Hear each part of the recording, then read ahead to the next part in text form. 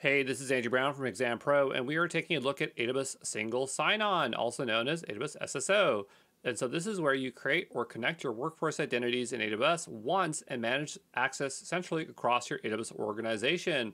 So the idea here is you're going to choose your identity source, whether it's AWS SSO itself, Active Directory, SAML 2.0 IDP.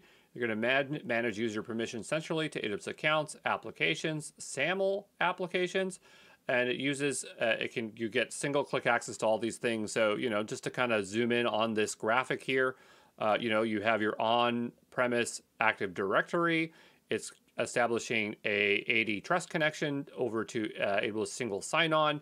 You're going to be able to apply permissions to access resources within your AWS account so via AWS organizations in your organizational units down to your resources you can also use AWS SSO to access custom SAML based applications. So, you know, if I build a web app and I uh, like the Exam Pro platform and I wanted to use SAML based uh, uh, connections for single sign on there, I could do that as well.